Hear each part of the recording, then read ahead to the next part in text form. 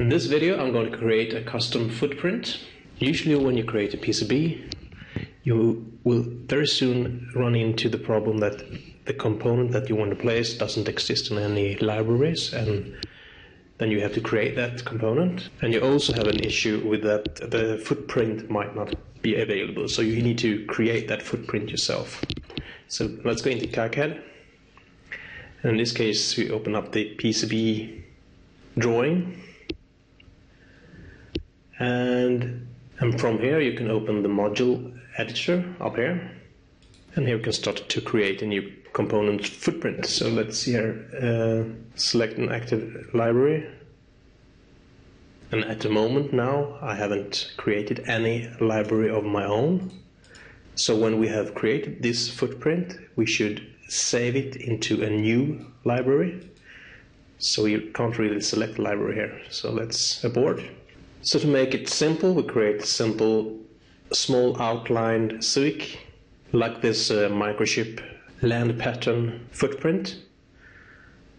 This outline already exists in KiCad, so we need to name it something else, but uh, this is just for practice. So there we have a little drawing on the land pattern, and here are the dimensions for everything. So let's go down here, and from here we create a new module, new module, and here we enter the name of our component footprint. So let's call this my SOIC narrow. This is not a standard naming for a narrow SOIC, but this is just for demonstration. So let's press OK. And what's happened now is that you get two texts over each other here.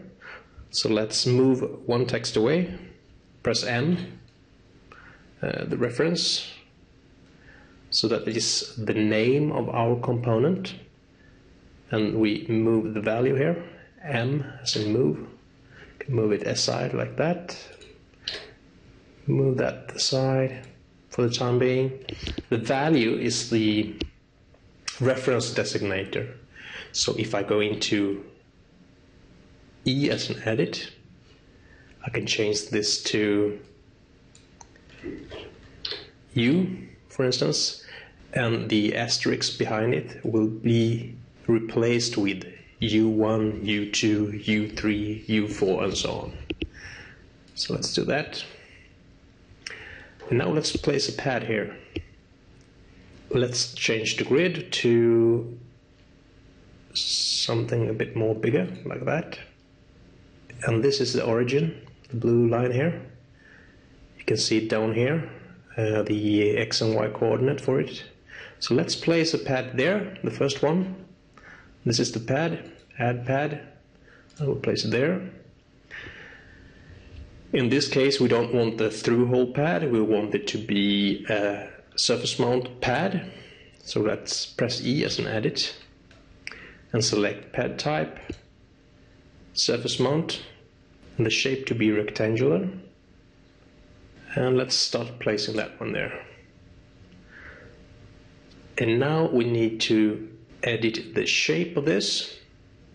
So press E as an edit. And these two properties will change the size of the footprint of that pad. And for the time being, I am using millimeters as my preferred dimension. So let's take a look at the drawing and we have the pads here. Let's see x1 and y1 is the width and the height of the pad. x1 is 0.60 millimeters. This is in millimeters. So x1 should be 0.6 millimeters.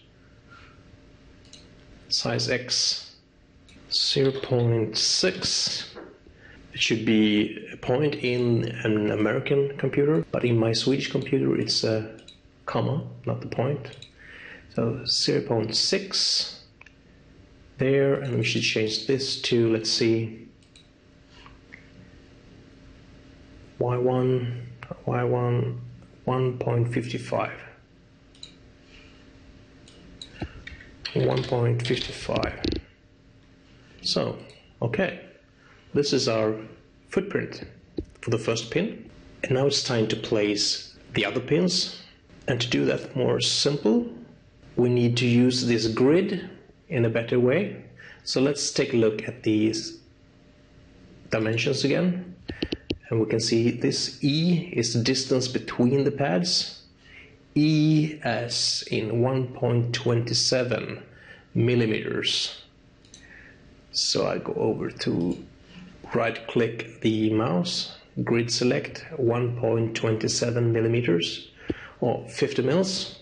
So now every time I move the mouse it snaps to this grid with the exact spacing of 1.27 so I go up here add pad next pad and it automatically gets the same properties as, as the one we just placed. So we need one two three let's see how many it was. One two three four. Okay. One two three four and we should place the other row above here like 5, 6, 7, 8 but we should place them in an exact distance from this one. So what we need to do is to change the grid again. And let's see on the dimension here. This is the distance C. Distance C is 5.4 millimeters. So we should have an a Y value of uh, 5.4 millimeters and if we right click go to grid select do we have a grid size of 5.4 millimeters? 5 no we doesn't. So we need to use a user defined grid. So let's go up to dimensions user grid size. Put in 5.4 I've already done this before. 5.4 press OK. And now we can select this user grid version. We should probably have the spacing in horizontal to 1.27 millimeters. So let's go to dimension, user grid, X 1.27, like that. And now we can place the other pads, 5, 6, 7 and 8. And this is an excellent way to get the right spacing between things. Just select another grid size to what you prefer and it will be okay. So now let's change the grid size again. Right click, grid select, 1.27 like that. This is the reference point, so you see this is a little bit off there, but it's correct according to the datasheet. So yeah. And now we need to draw some silk screen uh, for the body here. Let's draw something like this. And that will be the silk screen for where the, the component should be placed. And one thing you should remember when you do silk screen on a component is that you should never draw a line through pads like this. You shouldn't do the outline like this. Because what happens when you do this is that this pad will have white paint on it. And the, when you try to solder the component to the PCB, that white paint shouldn't be there. So Let's remove that and do it like this. And we should draw some kind of marking to tell which one is pin 1. So let's uh, place the grid at the very fine pitch like that and draw a circle somewhere like there. And then we can go move. No. Move. Place it like there.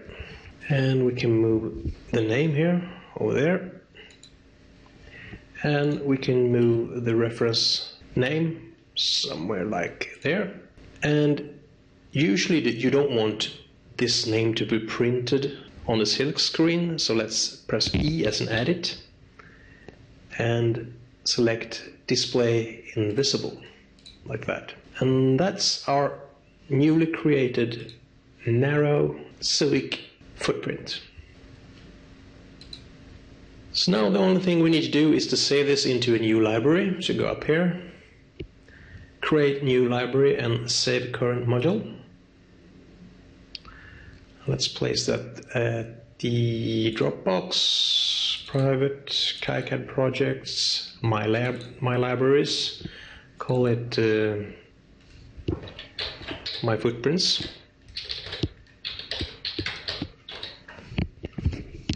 Let's save. That's it. We have now created our own footprint.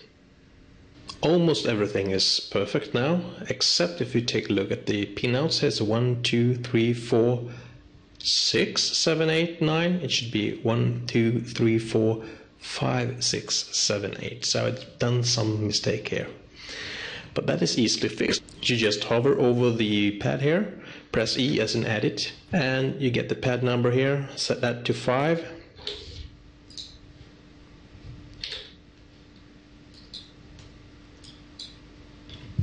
six,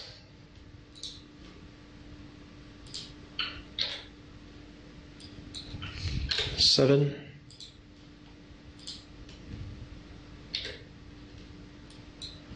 and eight.